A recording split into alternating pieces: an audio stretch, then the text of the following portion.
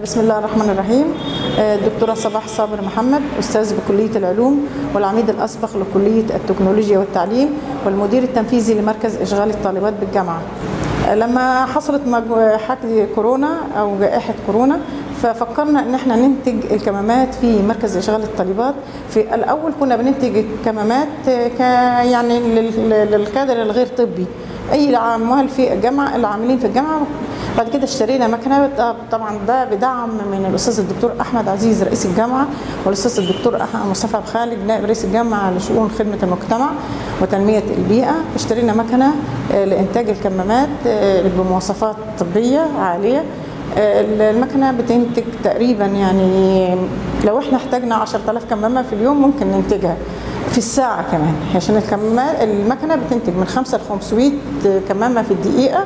فبالتالي إحنا حسب العدد المطلوب مننا بإن نكتفي بالعدد المطلوب مننا عشان ما تتراكمش عندنا وإحنا بنتمنى إن إحنا كل الجامعة تكون يعني نوفر للمستشفى الجامعي نوفر لمستشفيات في محافظة سوهاج إن يكون في يعني في تعاون بين الجامعة وبين المجتمع المدني نعمل تسويق للكمامات داخل في مدينة سوهاج وخارج سوهاج لكل المجتمع المدني السوهاجي.